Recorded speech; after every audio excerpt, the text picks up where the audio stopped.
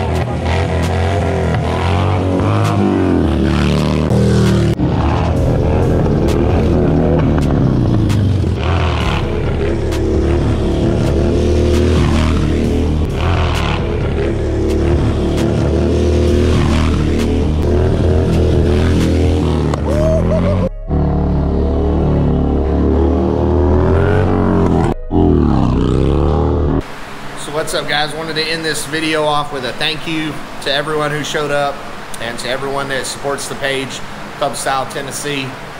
Um, if you haven't, go like it, um, go follow it, and help this thing grow in Middle Tennessee. This is all we got to do is keep having these events and putting them on and setting up rides and meeting people and growing this community here in Nashville. So I appreciate the support, guys.